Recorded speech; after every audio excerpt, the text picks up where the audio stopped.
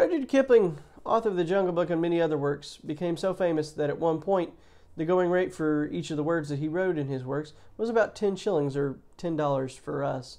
Um, and so a group of enterprising college students who weren't exactly fans of uh, Kipling decided that they would have a little fun and send a letter to Rudyard Kipling. And in the letter, they, they wrote uh, something along the lines of Mr. Kipling, uh, could you, for uh, the 10 shillings we have enclosed, please provide us your best word? Very shortly, uh, they received a letter back from Rudyard Kipling, uh, and, and in it he had written one word to them thanks. As we approach this portion of the holiday season and we approach Thanksgiving, we know that uh, the, the bigger holiday of Christmas is upon us. We've no doubt seen it in the, in the department stores and heard on the radio, and also seen on our television screens that the Christmas and holiday season are upon us. And so we begin uh, the biggest part of celebrating that uh, with Thanksgiving. And so uh, we we plan on that. Uh, many of us have been planning at least for a, a, week or two of, of what we shall do for Thanksgiving. But in today's passage from the prophet Joel, we see a different idea that we are encouraged to consider around the time of Thanksgiving. In this passage, God reveals his plans and a promise to bless the people of Judah once again he had caused them to suffer from war and famine and destruction. And yet he promises in today's passage to Joel that if they would return to their righteous ways, that God would bless them.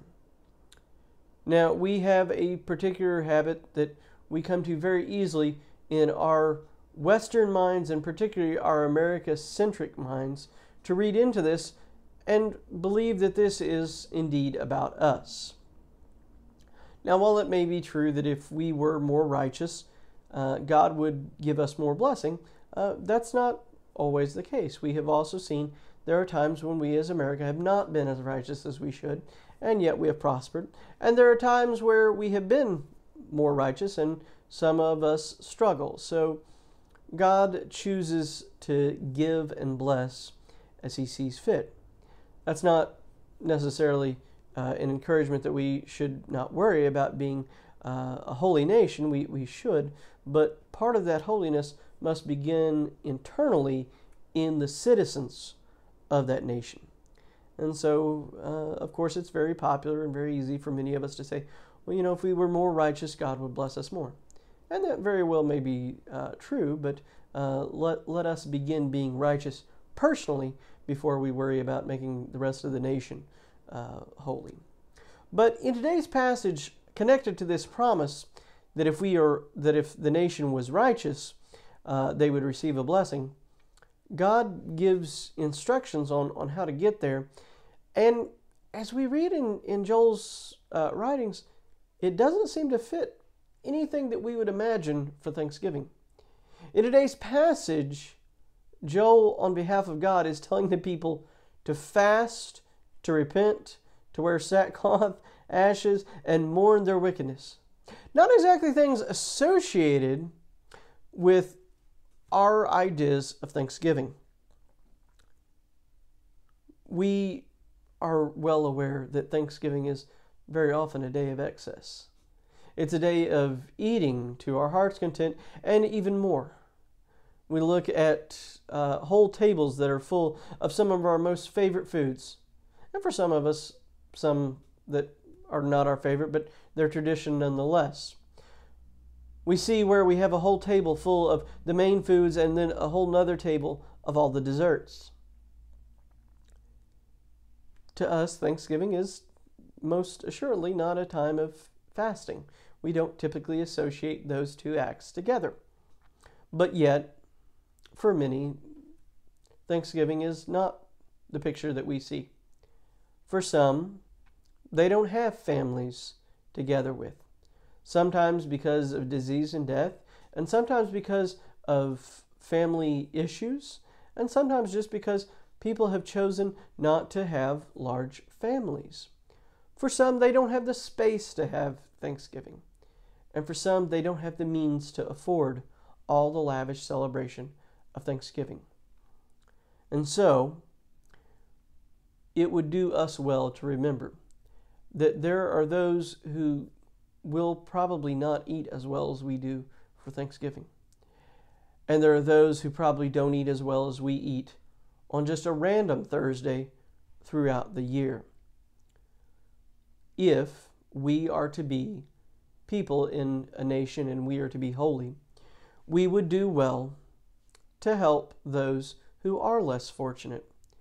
That we would do well to be righteous by helping to serve at a community Thanksgiving dinner or to gather food for those who are less fortunate or to support local food banks throughout the year, which I'm proud to say that most of us do a good job at doing, but we could always do a little bit better.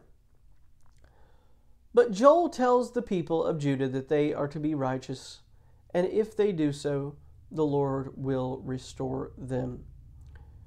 Joel tells the people of Judah that they are to be truly righteous, though. They are not just to put on a show of righteousness in order to trick God into blessing and restoring them.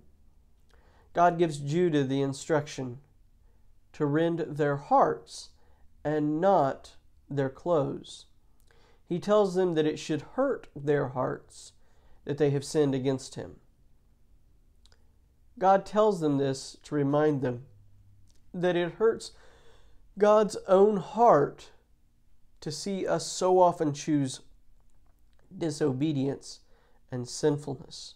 And so God instead tells the people of Judah through Joel that he would rather us have an understanding of the heartache he feels when we choose the paths away from him.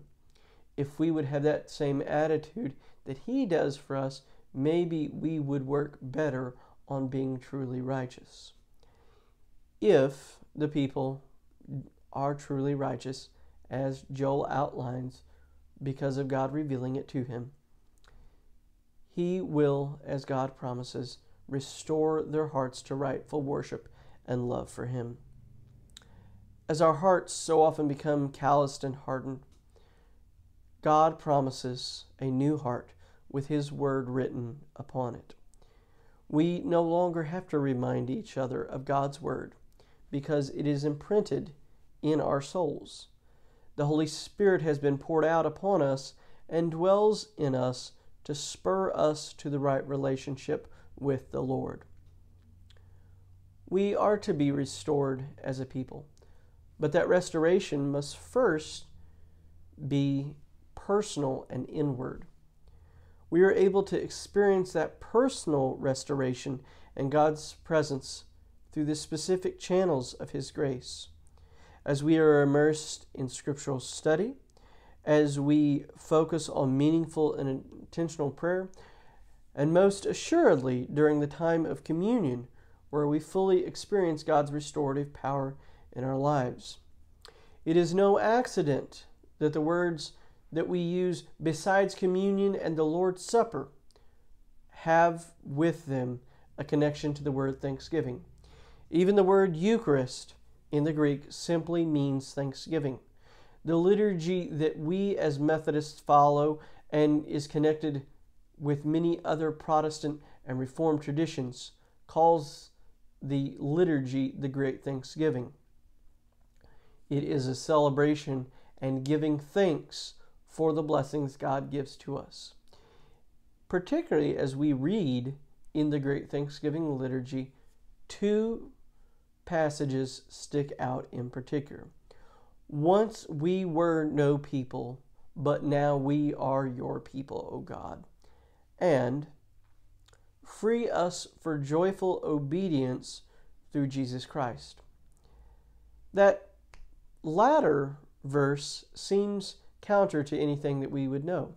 Free us for joyful obedience. The problem is we have been enslaved to sin and the ways of the world and wickedness for too long. And so we must pray that honest prayer of confession that we would be freed from that so that we might, with joy and not sheer despair or resigned to the disobedience to God and the enslavement to the ways of the world, we would with joy be united in the great and good works that the Lord has intended for us. It is because of Jesus, through his life, death, and resurrection, that we can be certain that our sins are washed away and our consciences can be clean, and we will experience the restoration personally as revealed in today's passage in Joel for the nation of Judah. May we give thanks for all the blessings God gives to us each and every day, and especially during the day of Thanksgiving, where many of us will gather with friends, family, and loved ones to celebrate all the things that God gives to us. Amen.